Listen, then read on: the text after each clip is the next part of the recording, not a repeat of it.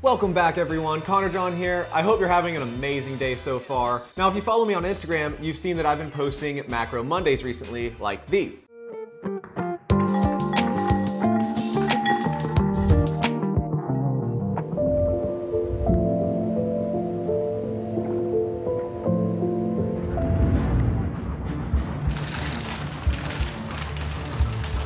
Now I started making these because I recently bought the Laowa Probe lens, which was a $1,600 impulse buy. Thanks to Daniel Schiffer. Now this lens is just bananas. It's bonkers. It will blow your mind with what you can do with it. But this isn't my first time trying to play with macro. Before I bought this lens, I had $30 extension tubes. So today we're gonna have some fun and we're going to put these two lenses to the test and see if the price difference is really worth it. Now I know there are some shots that you just need the probe lens for because of its size and its shape, but stick around because I'm gonna show you a tip on how to get that probe lens look without forking out 1600 bucks.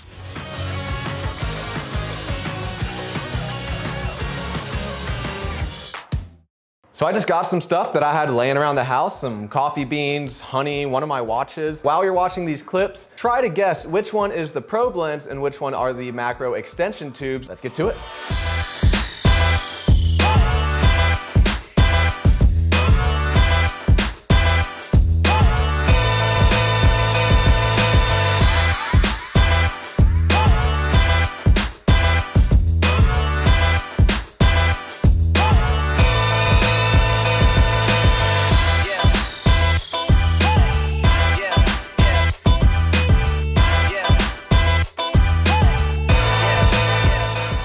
I mean, come on, for 30 bucks, that's not that bad. These extension tubes were on my Tamron 28275 f2.8. So looking back at the footage, not that different than the probe lens. Now, there's a lot of variable factors to keep in mind when trying to compare these two because they're so different in a way, even though they're both macro.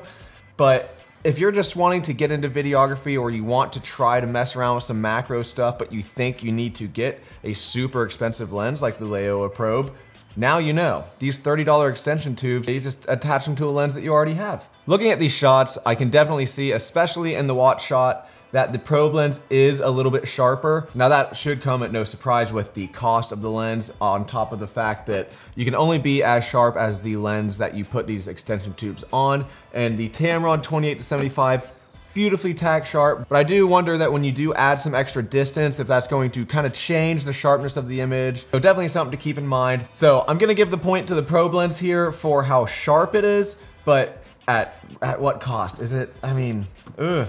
1600 bucks. All right, moving on. Now, one of the shots that I liked the extension tubes for more was that coffee shot. Now, something to keep in mind with this Laowa probe lens is that it is not easy to use. I've had this lens for a couple months now and it's it's a difficult lens. Getting everything stabilized and looking right it's an f14 you need so much light and you don't want to crank up your iso so it's not an easy lens to use. So the shot quality no doubt can the Laowa probe do so many things that these extension tubes can't do and it's going to look better but it's going to take so much more work. But if you're trying to shoot some B-roll for a YouTube video or just trying to get a quick, cool shot, the extension tubes are gonna be much easier to use. So you heard me bring up how you need a ton of light with the Laowa probe. It starts at f14. You heard me correctly, f14. You need so much light with this lens in order to get a clean image and not have to crank up your ISO. Whereas with the extension tubes, I have a 2.8 lens here. I put these extension tubes on and I'm still at 2.8. I've got a little pros and cons list here that I was trying to word in a certain way, but you know what? Here we go. Extension tubes, cost 30 bucks. 1600 bucks compared to the probe lens. Obviously, gotta give that to the extension tubes having the open aperture. This is going to start at whatever lens you attach it to, unlike the Laowa probe, and the portability. Throw it in your camera bag. If you just happen to want a macro shot while you're out and about shooting, you're ready to go. Not like this, where you're gonna have to carry this suitcase looking thing around. Not very portable. And now the cons to having the extension tubes. It's large and produces shadows. So when I had this on my Tamron, I was trying to get a super close-up shot of my watch, and I wasn't able to get that super close shot because my lens was casting a shadow on it. This is not waterproof. It's kind of rare that you need a lens to be waterproof, but that being said, it's worth mentioning. If you slap this onto any lens, I mean, I, I don't need to explain that. Don't put your lenses in water unless it's this one, I guess.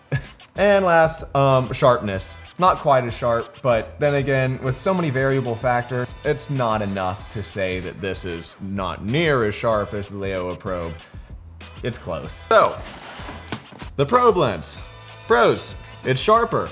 It's waterproof, so you can put that whole entire barrel into the water. Maybe you wanna get some uh, salamanders or something? I don't know, ink drops or beer dropping into like a cooler looking thing. That's where this is gonna come in handy. It is a 14 millimeter. That's what kind of sets this lens apart from so many other macro lenses is that it's a wide angle macro lens that is that, it's amazing. I think it has like 17 pieces of glass inside of it.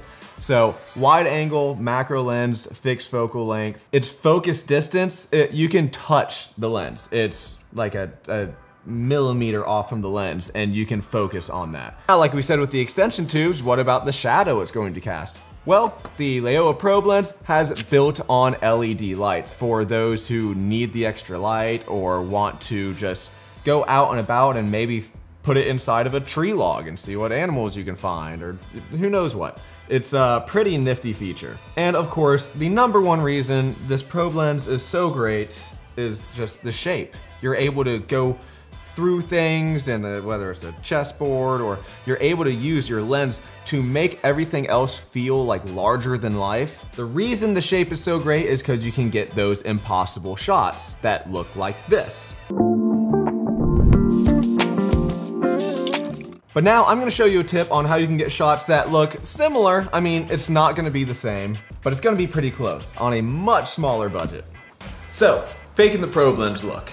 The reason the probe lens can get such cool shots is because of this very narrow barrel leading to the lens. So, something that you might have laying around or something that's at least much cheaper than a probe lens is going to be an old GoPro. But I actually won't be using the GoPro today because uh, I have a new camera that I like quite a bit more, and that's going to be this, the Insta360 ONE R. This thing is a powerhouse, and right now I have the 360 lens on there. So I'm gonna snap off the 360 lens. Well, you could use the 360 lens for this, um, and I use the 360 lens for all my action videos like this one.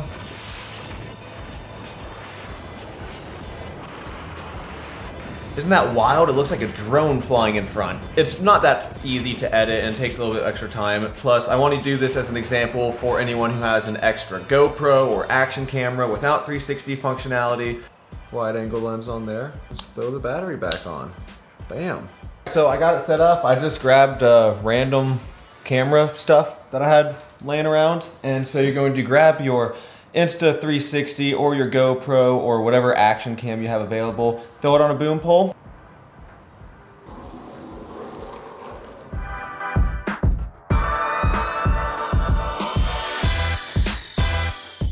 Alright everyone, thank you so much for watching. Now, in conclusion, this lens is awesome. It is so much fun. But is it worth it? Am I glad that I bought it?